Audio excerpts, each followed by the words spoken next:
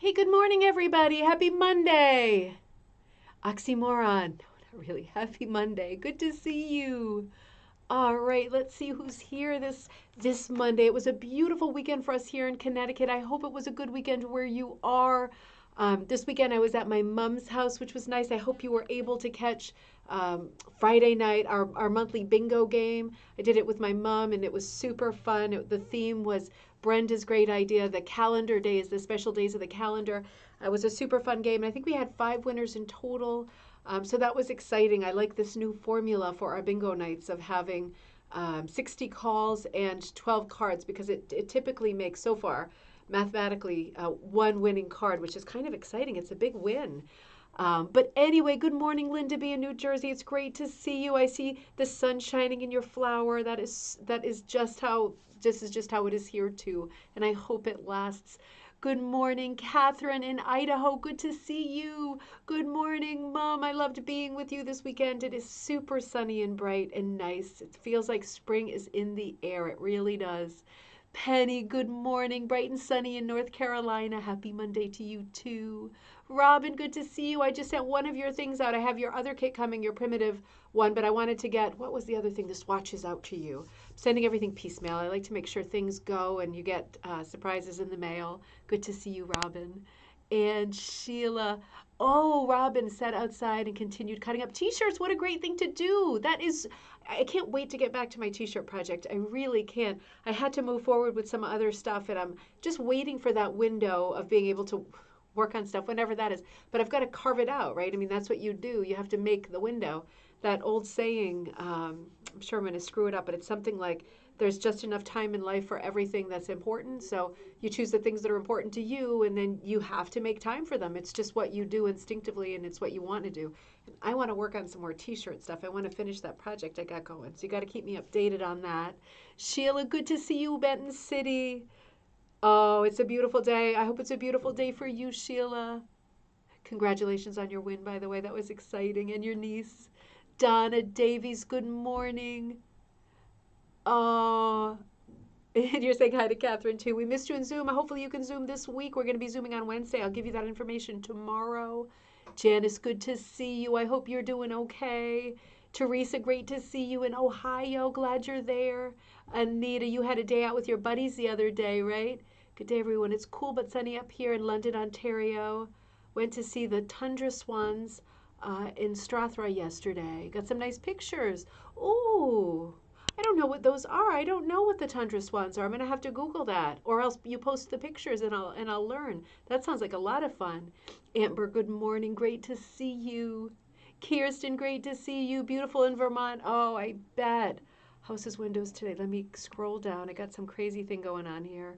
Windows today while waiting for delivery. Oh, great. Oh, Kirsten, I'm so glad it should be there. Let me know if it's all okay or if there's any trouble. Always let me know. I'm right here. Martha, good to see you. Sunny and warm in Ontario. Joan, good to see you. Good morning from Jamaica. That's right, Joan. You're in Jamaica. Sunny sitting outside and enjoying the cool breeze. Oh, that sounds like heaven, doesn't it? Beverly, good morning in Washington, blue sky. You're here at the beach, but it's supposed to rain. Well, that's okay. You stick stick out there at the beach as long as you can and uh, and then roll with it, right? There'll be so many good days coming up. Chrissy, good to see you. I got your message. I'll send you some uh, pretty swirly colors for your stash. Bingo night was fun. Heather, good to see you too. I loved all the painting you were doing this weekend. That looked like fun. Uh, got a three year old. I may just, oh, yeah, you might be in and out. You're going to be busy during the next half hour. Cindy, great to see you in Arizona. I'm glad you're there. Happy Monday. April, beautiful day. Good morning. Good to see you, April. And Anne, good morning. Good to see you too. We did have such a great weekend. It was really, really fun. We have five second delay before we can hear you. Okay. Oh, interesting. So, Linda, does that mean that when I'm live, there's an ad and you still can't hear me for a while?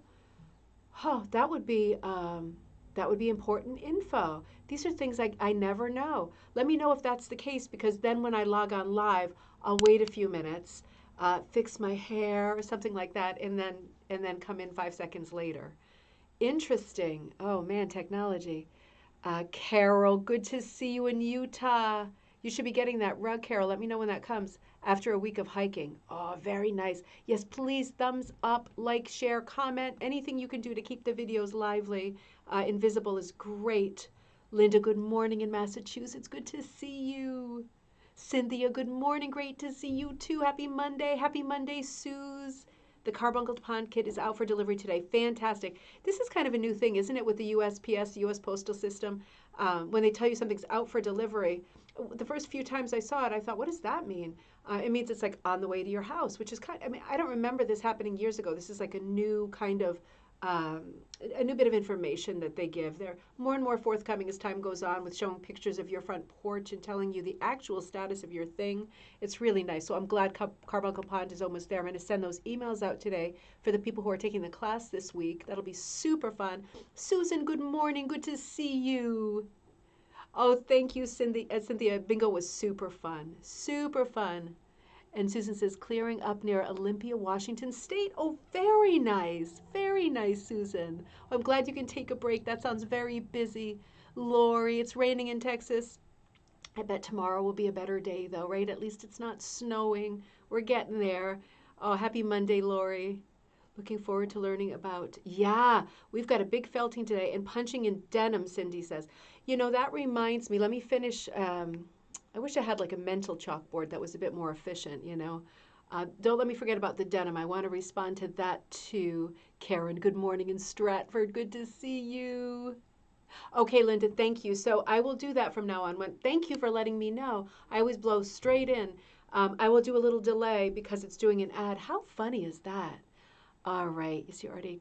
Yep. Okay, I see. That's pretty uh, schizophrenic, right? I'm already talking to myself by the time you can see me. Um, all right, thank you. I'll remember that tomorrow for sure. Those are the things I really like because they really help me shape the episode better. Oh, okay. Karen, you got your first dose of vaccine. Yay. I'm so happy to hear that. I'm getting my first dose on Wednesday. I'm so happy to hear every time someone gets their first dose, second dose. We are getting there and we are getting closer to being able to spend time together and visit and travel, plan things again. Uh, more on that too. Oh, okay. Give me. Yeah, I don't know if it'll give you the skip ad at the beginning. I don't know. That's interesting. Have to keep up with Amazon. That's right, Lori. So listen, before I forget, the word denim just cued me. Um, I'm not. I'm not. Sh- I, am not sure if it was the same person, Cindy. I don't think it was you that put the comment on. Um, what is it? YouTube. Somebody wrote this weekend a comment, and I said, uh, to please be in touch again. It was something. Oh, good morning, Karen. Good to see you. Hello to Noah, if he's there. Um, it was a, it was um, it was a comment on a video that was very positive and friendly, and it said um, also, can you do a video on punching into denim? And I said, sure, I'll definitely do a video on punching into denim. Um, and she said because I'd like to do some punching into denim for some foster kids, you know, make them some nice sort of personalized things. And I thought that is so nice. We should be thinking as a group. Um, you know, with spring coming and just feeling better, making time for the things that are important um, we should be thinking about projects that we can do or projects that you're already doing that with this platform we can find each other and maybe join in and help on the same projects. I thought what a great thing to organize something you know for foster kids that personalizing denim for them doing little punching projects and stuff that might be something that more people want to participate in. I would like to i would like to help out with that. I will make time for something like that. If you have a project that you're doing or something that you've thought of um, something charitable or something for the community, something that's kind, um, please let me know because it could be that using this platform, whether it's a regional thing or something that people can do and ship, that we can get organized together, give it a shape together, and become a little bit more efficient. There are always people looking for projects to do, particularly smaller projects uh, and doing something nice for a nice cause is something we all feel good about doing. It's the right thing to do. So please let me know if you have those ideas. I would love, I will make the time to help uh, get there with, with sort of publicizing them and, and giving them a shape. Um, the winery in Wallingford says they're going to have food trucks. Oh, good news, Karen. We have a winery in a town nearby. is called um, Wallingford. That is super fun. They have this huge, vast. I think I mentioned it before. It reminds me of the Pennsylvania countryside. This huge vista. You know, it, it seems to go on for eternity. It's like heavenly out there. And they have a bunch of wines that you can get and sit outside, also inside. But right now, it's nice to sit outside with things kind of right in between, um, safe and not. Um, so that is good to know. Thanks for that info. You know, I should like them on Facebook so I can find out interesting things like that too, because that's a great place for us to go and meet each other. Oh, Ralda, you're there this morning. Good morning. Good, good morning. Nice to see you. You're the denim person, Cindy. Okay, great. You want to make some purses for girls. Cindy, let's talk about this. Um, if you have time to email me on ribboncandyhooking.com, it might be that other people in our group would like to help help you with that project. It's a noble project and it's worth doing. Um, I was speaking to my mom, it was months ago now, mom. We were talking about starting up a mentoring program when things are a little bit more open and trying to match up people who had a little bit of extra money to, to buy or at least contribute to like a frame and a hook um, for like older kids who wanted to get into hooking, um, get them kind of set up because it can be a costly endeavor to embark on. Um, but for people that are a bit more set up and more sort of stable with their finances, if we're able to sort of pair people together and get mentoring, um, get it going locally, I think it would be a great program to get younger people involved in punching and hooking and helping them get this basic supplies that they need to get going. So all of these thoughts that you're having to, please communicate them because we can work together on this. Um, Avery, I yeah, it should be everything should be accessible. Art should be completely accessible. Ideas are free. Inspiration is free. Um, and so many people have time. So many people are still at home. And um, yeah, this is good if we stay organized in this way. Tundra Swan Pictures. Oh, you're sending them via Messenger. Fantastic. Judith, good morning. Beautiful day reaching the 70s. That sounds almost too hot, doesn't that? Isn't that ungrateful to say? But it it's, it was so hot this weekend in the high 60s. I am so glad, Judith. That sounds amazing. Great, Cindy. Thank you. Need um, a small needle using floss. Yep, for the denim punching. So, all right, so let's start at the beginning here because I've got a bunch of things to tell you, and then I'm going to go into the needle felting. I'll probably go over today um, because saying good morning, which is not something I'm going to give up, takes a little bit longer every morning, and I'm very glad for that because that means that you're there. Uh, and I like it. I like it when you're there. I just want to be sure I say good morning. So, a couple of things. Um, I started this weekend working on the mark before we go into the felting um, and Neysa Russo I just want to do two orders of business. So I started working on the monthly kit, and I knew that I would do more than one. Yeah, it's that's the Russian um, needle punching, which is the much like the Ultra Punch um, as a brand, as a, as opposed to like the Oxford Punch as a brand. Um, I was working on the pattern for the monthly kit for April, and I am putting the pattern out, but I'm not putting it out as the monthly kit. I think it is too I know a lot of beginners take the monthly kit, and I think it's uh, a bit too complicated. This can happen. I trip myself up all the time. I'm still devoted to this pattern, but um, I have another one in mind. So let me show you what I mean. I was working on this idea. I drew a picture for this. Um, I wanted to do this kind of industrial wire tree. And I drew it. I like the idea of mixing. I, I know it's Easter coming up so soon, and I didn't want to do something full blown Easter, so I wanted to do the wire tree, like a little bit of a rusty wire tree, a little bit industrial and unexpected for April, and then put on it all of these beautiful. I have a few books by the same authors on these beautiful Ukrainian eggs. Um, which to me they're used for Easter, but we also hang them on the tree for Christmas. So, and I often have them up year round. So to me, this was kind of like the idea of Easter without going full blast bunnies and pastel colored eggs. I thought this is more of a year round fun thing. So I went in this direction. I want to look at this book in the future because the symbolism in these eggs, we've talked about symbolism so many times on our coffee times that are more sort of inspiration themed. And the symbolism is so important. Just hearing what a symbol is sometimes can inspire you. A design just pops and crystallizes in your head. So I want to talk more about these eggs and the symbolism, the Ukrainian symbolism to them. And then I started uh, working on it just last night for a little while. I put the bunny ears in the corner and I was thinking about lamb's tonguing around the edge.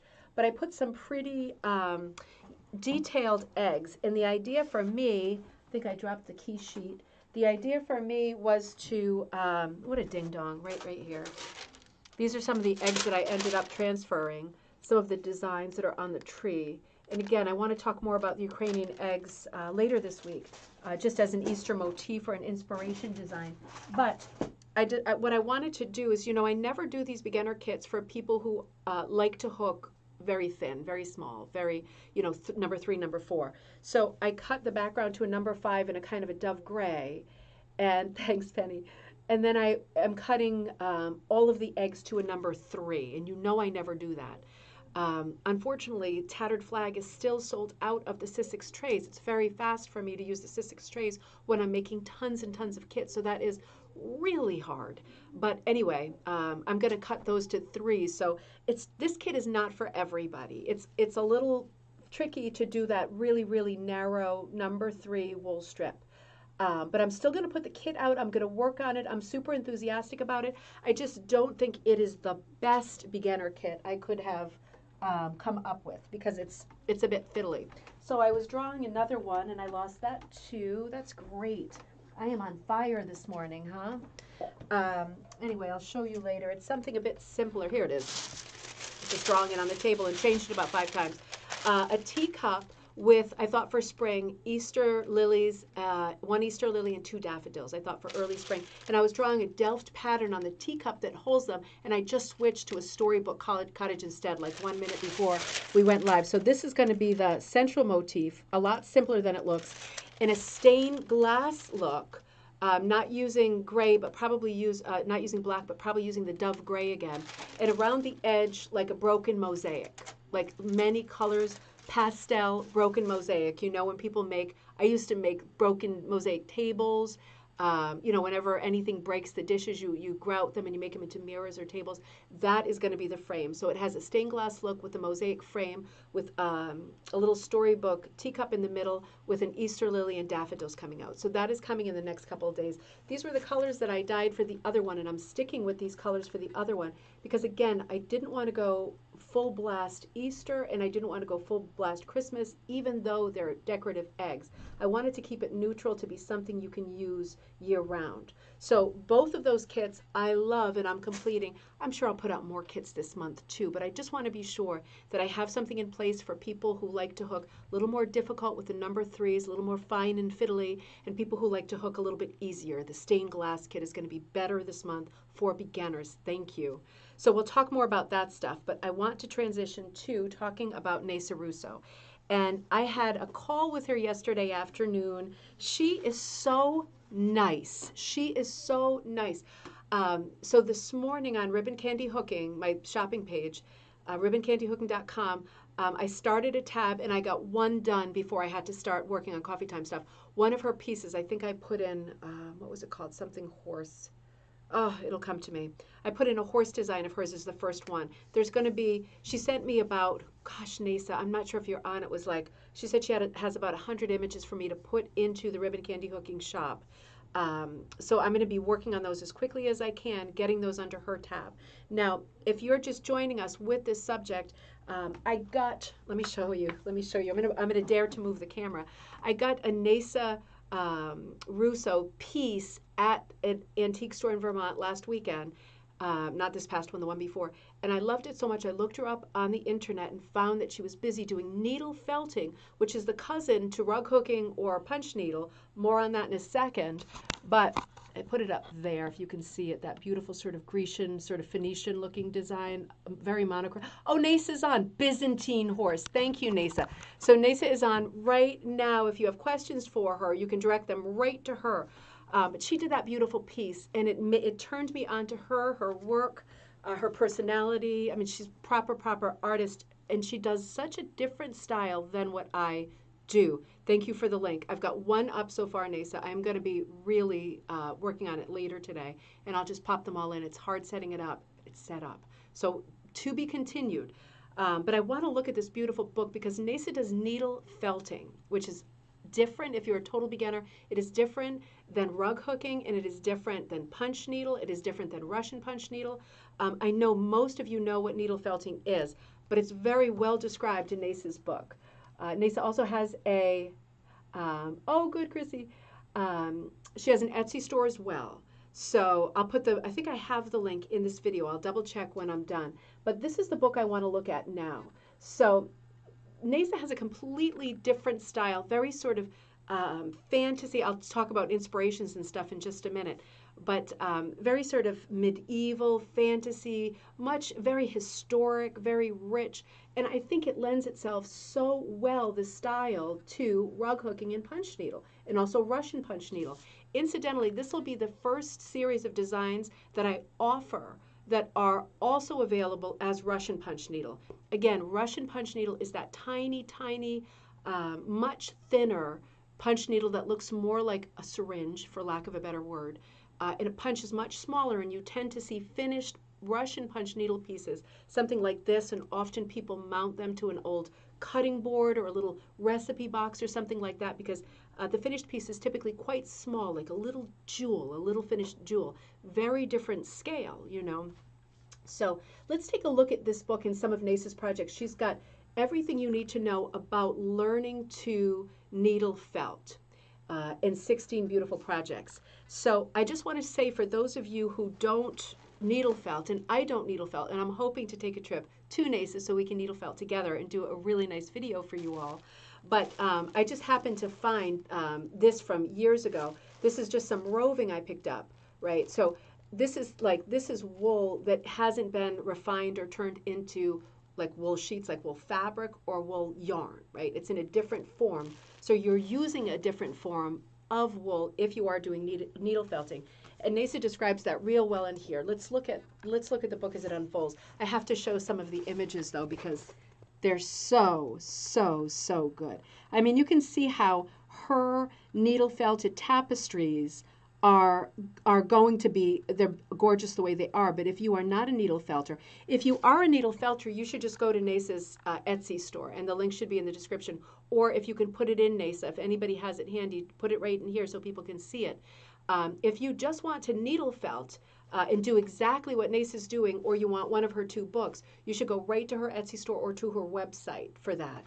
But um, if you are waiting to either punch or hook them, I will have those out shortly. But you can see how these are going to lend themselves really, really well to punching and hooking. They're just colorful, they're interesting, uh, they're full of detail, they're full of uh, things that, that carry your eye from one place to the next, right? I mean, they just have such a gorgeous look. Very, very colorful, a little bit of that stained glass feeling. I say medieval, and that's the wrong word because when you think of medieval, you tend to think of either manuscripts, which are bright and beautiful, or very dark work. This is anything but dark work. But in part one, Neysa talks about um, all about needle felting. In other words, the how to, the kinds of equipment that you need. It's very, thank you it's very different equipment than we used to hook. It's like little needles and things. And you can, when you're really into it and you need to cover a lot of area, you want a needle that's more than one needle. It goes a lot faster if you've got a multi. So she shows you, and this is as opposed to a one needle, right? Uh, she shows you all of the different tools that you might get, uh, what you need to do to your felt, your wool, um, you know, in terms of before you start working with it, the pre soaking, the prepping everything. She gives you a great glossary of what the terms mean. Now, for people that already do fiber arts, there's going to be a lot of crossover.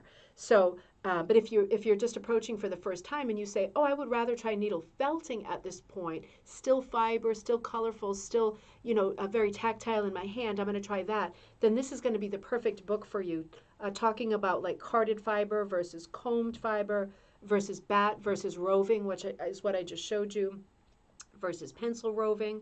Um, but she shows you all the sort of prep steps that one needs to know to participate in this particular branch of fiber art. Um, it was so nice talking to Neysa, and it was so nice um, getting to know her a little bit over Zoom for now until we can get together because um, her mom is a spinner and their family has always been into the fiber arts and it was really nice hearing her talk about she does some dyeing too um, with things that they grow in the garden that the family grows in the garden um, and she mentioned that there's always uh, tons of sawdust around from other projects, and she uses that for dyeing. She uses onion skins for dyeing. And then her mom has a beautiful garden um, of things that you can pull out and also use for dyeing. So just like such a world, such a, Inesa is in Vermont, so such a world of beauty and utility and inspiration. It was just a different, a different world to go into for a little while while we were chatting. It was so nice. So, and then it goes into designing your piece. And what I really like about um, Neysa's approach, you know I'm always really clear when I talk about a book uh, what the sort of tone of it is and what the intention is in terms of is this good for beginners? This is good for beginners. This is good for people who are approaching uh, needle felt, and this is also good for people who are very good at it and would like some beautiful designs that are challenging. It's good for the whole spectrum of people. This book is also good for, you know, the most important thing to me, its tone is very encouraging, positive. It's very, you got this, you can do this.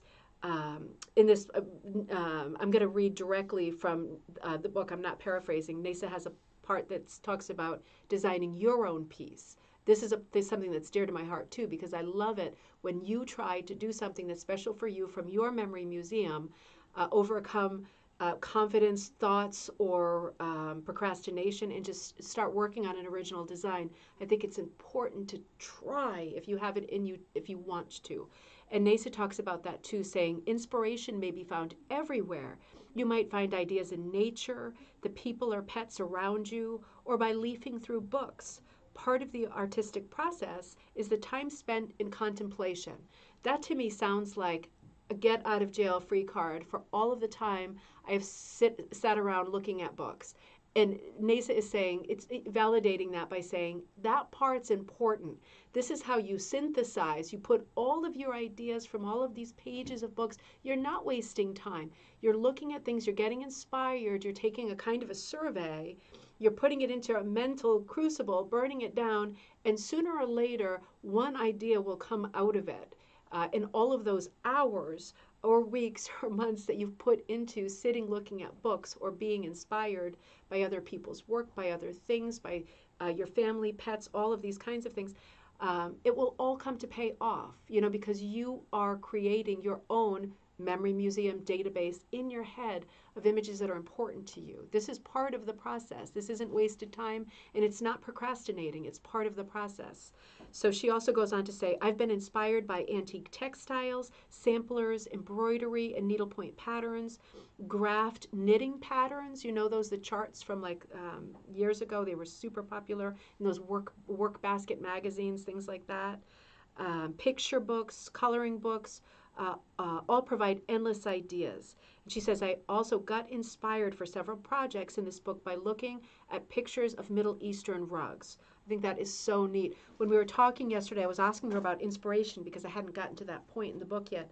And she said, I said, Have you done a lot of traveling? Because you have so many images that pull from um, different regions of Europe, um, Eastern Europe, the Far East, all these different places. And she said in the past few years, she's gone to Norway and Sweden. So you'll see a very distinct sort of Scandinavian style in some of these projects, which is a little bit like a fracture style, but a little bit of a twist on it. If you can picture Scandinavian painting and tole painting, that kind of a flavor. Um, also, Italy, she spent a lot of time in Italy and um, inspired by the murals, sort of uh, Italian murals and the art that came out of Pompeii. So these are things we've talked about on Coffee Time too. These are all crazy coincidence crossovers. You'll see shades of all of those things in this book. Uh, it is it's something to agree to, right? Oh, good morning, Jill. Good to see you. Having a good day so far, so good. Hope for you too. So she's she's so careful about the way um, she sets you up for success, right? She sets you up for success while designing, for designing, putting your head in the right place. I also mentioned the other day, and it's worth repeating, that Neysa has done um, quite a few articles for Rug Hooking Magazine, like basically one a year.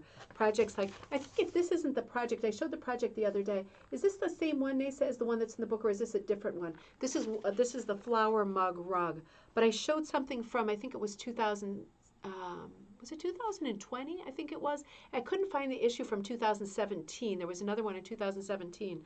Um, but she's done she's done a lot of writing for Rug Hooking Magazine too, needle needle felting.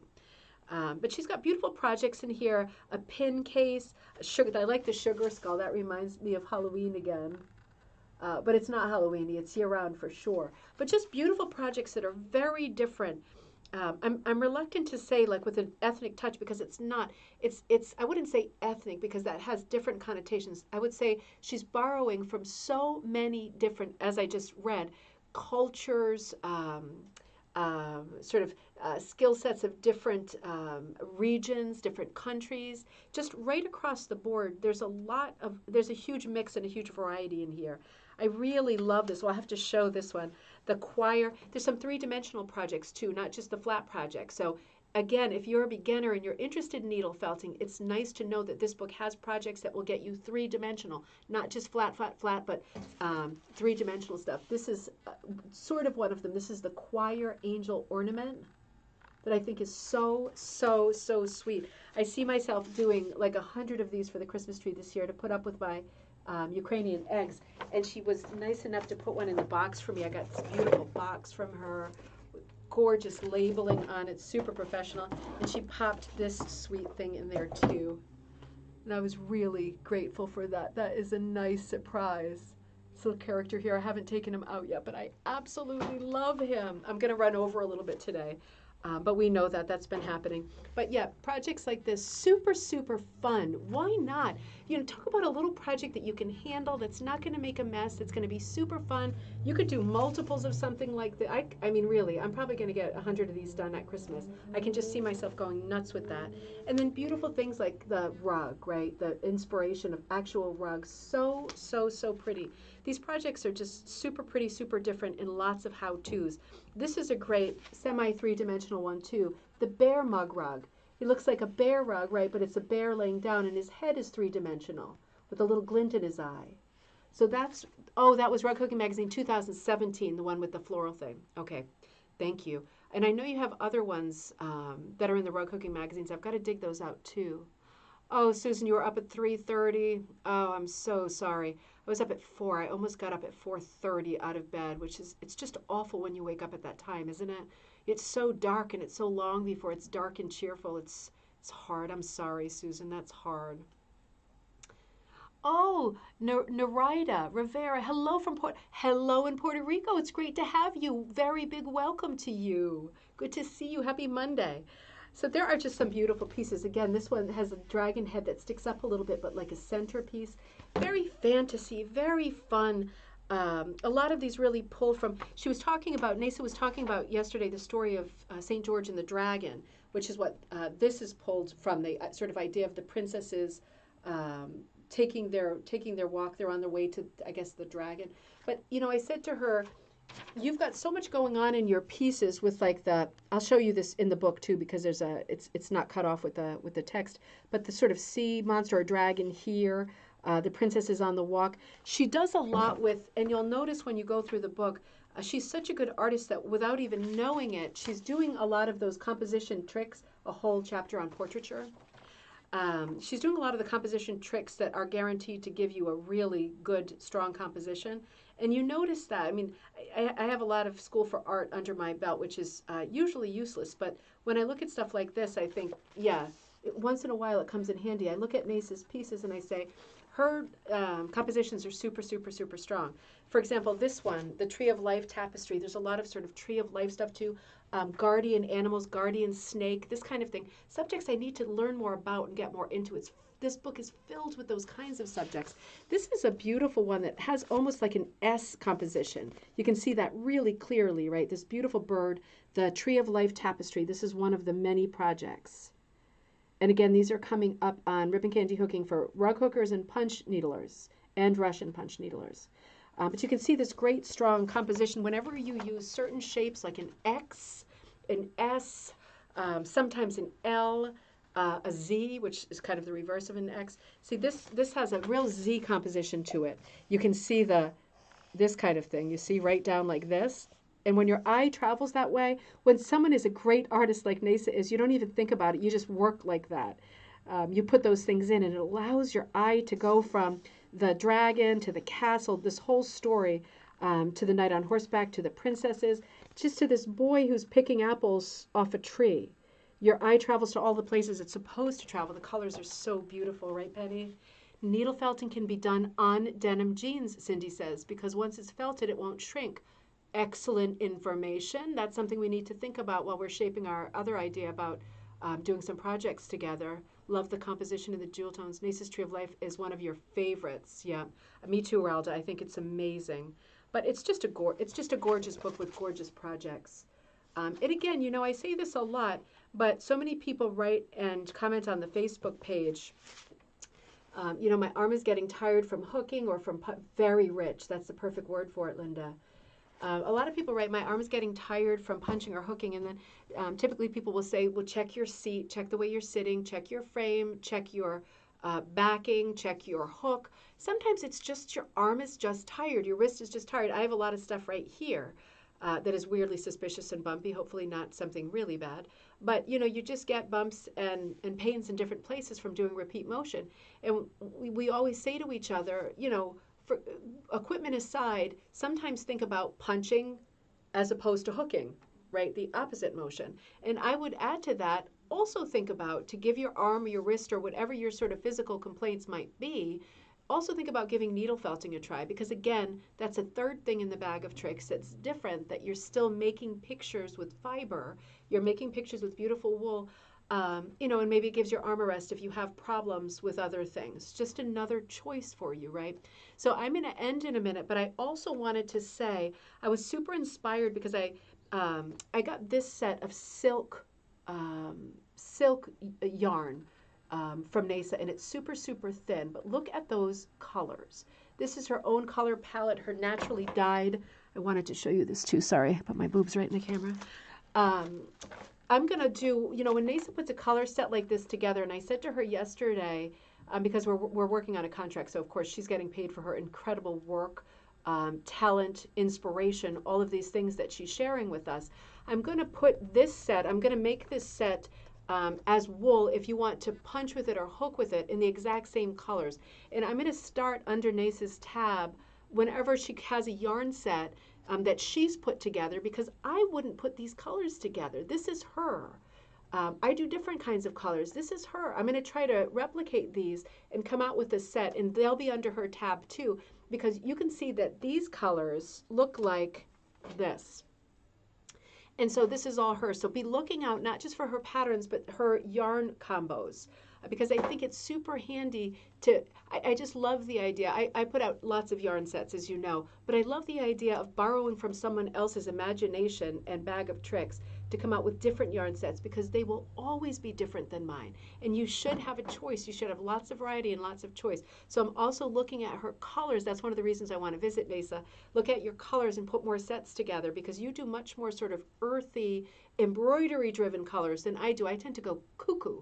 Um, and I'm super inspired by this. So with these yarns that I got from her, the silks, I'm actually going to do uh, hopefully later this week start a Russian needle punch. And I will do lots of videos on that.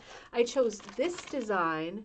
Neysa, what's this one called? Do you, do you know off the top of your head? I'm in the middle of transferring it onto fiber tape and then onto weaver's cloth because when you're working with the uh, Russian punch needle, the much smaller scale punch needle, you want to work on weaver's cloth. That's going to come out the best. It's teeny, teeny, teeny, tiny.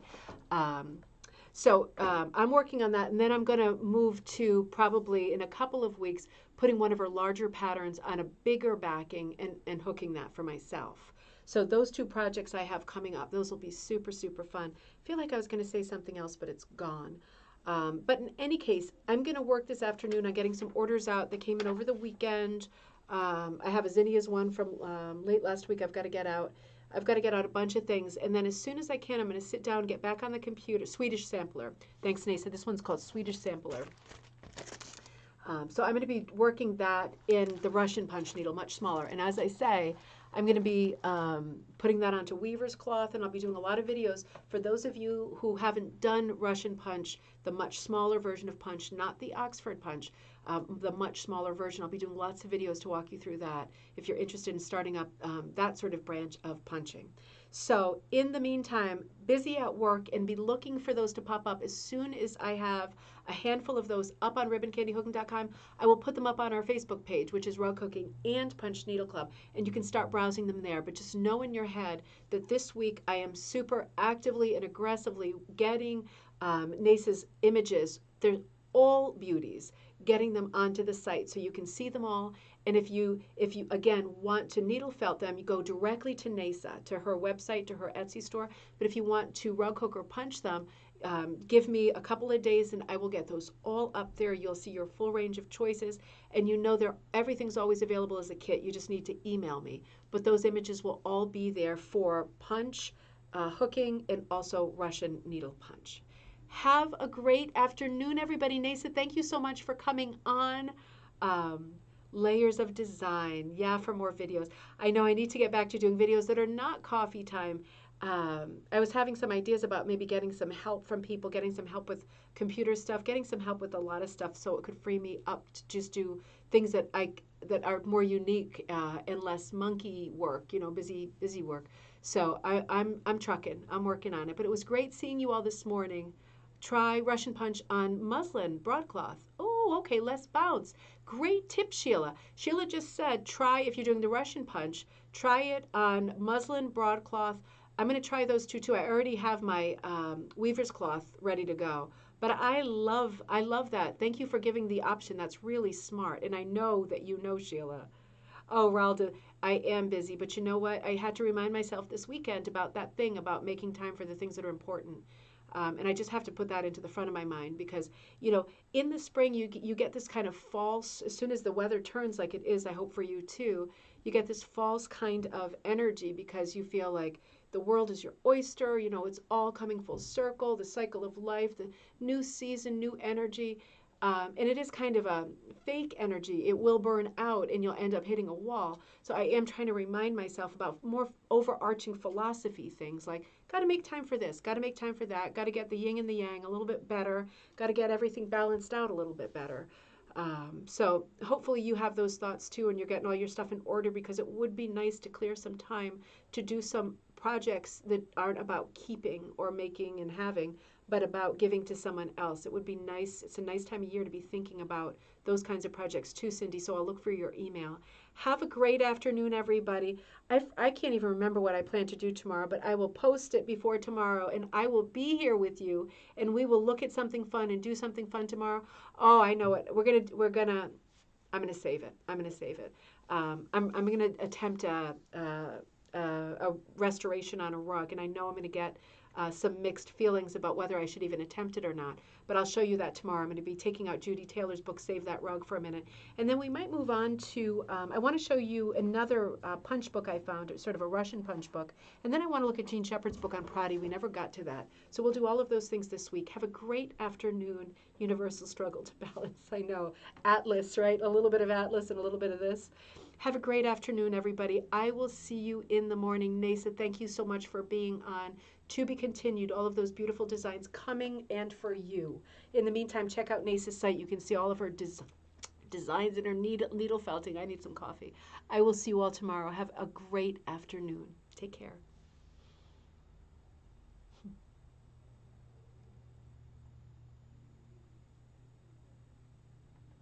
Oh, Cindy, uh, if you're still there, Cindy, ribbon candy hooking at gmail.com.